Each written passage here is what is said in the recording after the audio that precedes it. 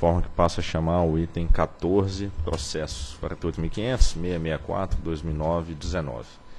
Petição interposta pela empresa O2 Consultoria e Projetos Bioenergéticos Limitada, em face do despacho 649 de 2012, que conheceu e negou o provimento ao recurso administrativo interposto pela referida empresa, em face do despacho 2263 de 2011 SGH, que transferiu para a condição de inativo o registro para a realização do projeto básico da PCH Taguá. Diretor relator, doutor Edvaldo Santana. Senhores diretores, esse é um caso de, de a decisão poderia ser monocrática, dado que esgotadas todas as esferas administrativas, mesmo assim eu o trouxe para a pauta.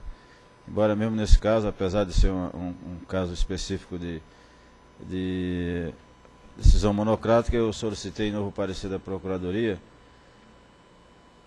Este é o relatório, mas o voto eu, eu leio na íntegra.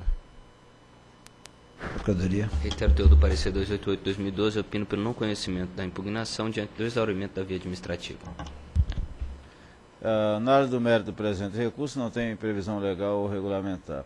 Pelo contrário, o artigo 3 inciso 6 da Resolução 273 de 2007 estabelece que o recurso não será conhecido quando interposto após a da esfera administrativa. Segundo a Procuradoria, a recorrente não trouxe qualquer fato novo capaz de invalidar a decisão já proferida, também não foram demonstradas ilegalidades que tenham viciado a decisão recorrida. A empresa apenas reiterou suas manifestações anteriores e alegou a violação à ampla defesa e ao contraditório, o que não ocorreu, tendo em vista que a empresa foi devidamente intimada dos atos decisórios e apresentou suas alegações, as quais foram devidamente analisadas pela SGH, nota técnica 409, pela diretoria. Ressalto que acompanhei as recomendações da Procuradoria e da SGH, mas indiquei em meu voto anterior preocupação que ainda se mantém quanto à defesa da concorrência, conforme trecho a seguir, que não vou ler. Esse é um trecho que está no voto anterior, porque é uma das alegações da empresa que teve prejudicado seu acesso às terras, porque um dos concorrentes era o dono das terras.